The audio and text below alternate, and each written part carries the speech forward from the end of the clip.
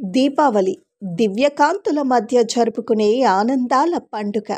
మన దేశంలో అంతా జరుపుకునే అతిపెద్ద పండుగ దీపావళి. దేశంలోని వివిధ ప్రాంతాలలో దీపావళికి ప్రత్యేక సంప్రదాయాలున్నాయి. చెడుపై మంచి సాధించిన విజయానికి ప్రతీకగా ఈ పండుగను భావిస్తారు.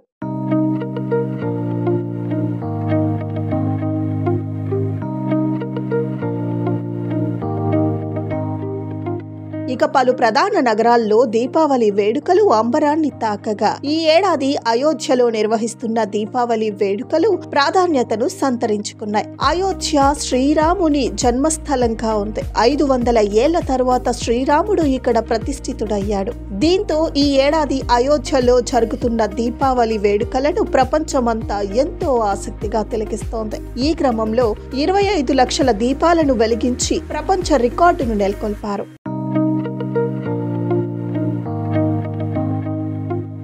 మరో ప్రాముఖ్య నగరం భారతదేశానికి ఆధ్యాత్మిక రాజధాని వారణాసిలో కూడా దీపావళి వేడుకలు అంగరంగ వైభవంగా జరుగుతున్నాయి. కాశీగా పిలువబడే వారణాసిలో జరిగే దీపావళి వేడుకలలో లక్షలాది మంది భక్తులు పాల్గొన్నారు. ఇక్కడ దీపావళి వేడుకలు వైభవంగా జరుగుతున్నాయి. అలానే ఉదయ్పూర్ అమృత్సర్ కోల్కతా వంటి నగరాల్లో కూడా దీపావళి వేడుకలు వైభవంగా జరుగుతున్నాయి.